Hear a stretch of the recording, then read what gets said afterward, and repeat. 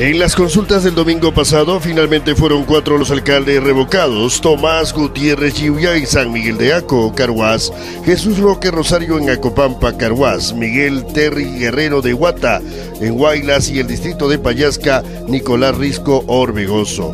Ellos serán reemplazados por los que le siguen en la lista, mientras que el presidente del Jurado Nacional de Elecciones, Francisco Tábara, ha pedido que estos se queden hasta el final del 2014, ya que en octubre o noviembre de ese año habrán elecciones municipales. Los movimientos regionales cobraron protagonismo en las recientes elecciones municipales complementarias. Cuenta conmigo ganó tres alcaldías. Rafael Huamanchumo Sánchez, con apenas 26 años, es el nuevo alcalde de Samanco. El técnico sanitario Richard Ruelas Matos es en Guayanca y Luis Milla Alba en Pueblo Libre. Ellos asumirán el mando al día siguiente en el que el jurado electoral especial les entregue sus credenciales. Las listas de Río Santa y el Mampe también se impusieron para completar en regidores que quedaron vacantes en Pariacoto y Succha.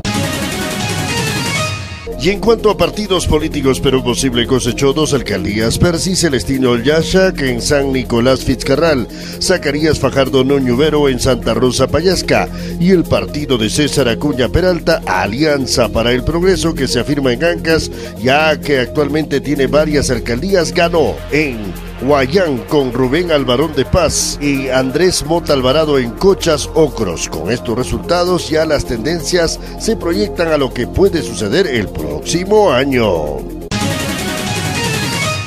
Una verdadera euforia produjo entre los seguidores de Cuenta conmigo que anteayer celebraron dos acontecimientos en uno.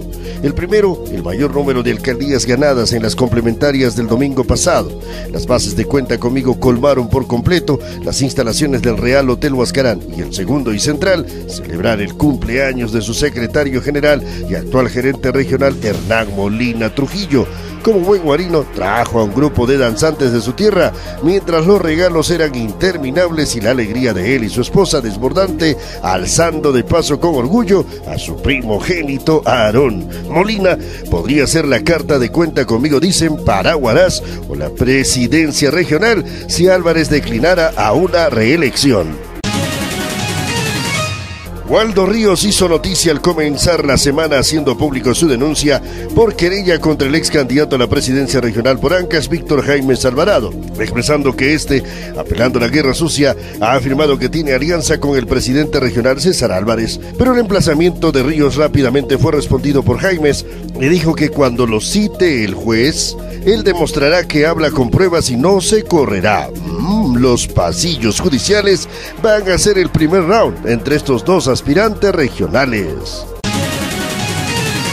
En el FEDI ya tienen nuevo presidente pese a los intentos de frustrar las elecciones que efectuaron Luis Maguiña, Gilmer Asís y otros. Las bases de la sociedad civil acudieron en su mayoría, logrando respaldo mayoritario en la lista que encabeza el abogado Hitler Leiva Terreros. Temprano parecía que no prosperaban las elecciones, pero la perseverancia que puso el presidente de la Comisión Electoral Marcelino Maguiña, como el presidente cesante Rafael Macedo, hicieron posible que esta vez sí se elija la directiva tras dos postergaciones anteriores.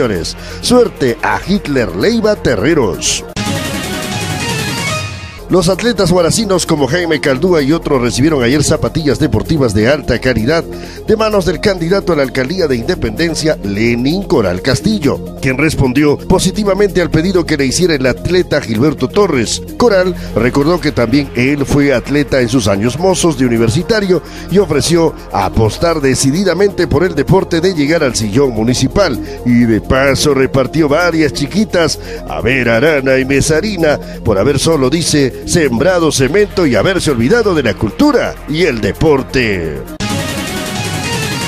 En Independencia, el alcalde Alfredo Vera y sus funcionarios cercanos estuvieron nerviosones en la semana y hasta viajaron en Mancha, Lima, para indagar en el jurado cómo va el pedido de vacancia que continúa dejándolos insomnes. Igual pasa en Chavín de Guantar, donde el alcalde Manuel Paucar aguarda los resultados de la apelación que hicieron los que solicitan su vacancia, mientras la Fiscalía Anticorrupción intervino su municipalidad luego de que el programa Punto Final emitiera denuncias de presuntas irregularidades. Y en la universidad por todo lo alto y con impecable organización se efectuó el curso internacional sobre metales a cargo del prestigioso investigador norteamericano Corby Anderson. Él hizo su conferencia totalmente en inglés, pero los asistentes lo entendieron a la perfección, porque se les dotó de audífonos donde lo que expresaba el conferencista estaba siendo rápidamente traducido al castellano y así se produjo un saludable diálogo mérito inobjetable para el decano de la Facultad de Minas, Julio Poterico, que se va convirtiendo en candidato de peso para la rectoría, y para el ingeniero Rómulo Mucho Mamani, presidente del Instituto de Ingenieros de Minas, que comprometió todo su apoyo a la UNASAM para este tipo de eventos. Ya era hora de salir de los bochinches a las jornadas académicas de alto nivel.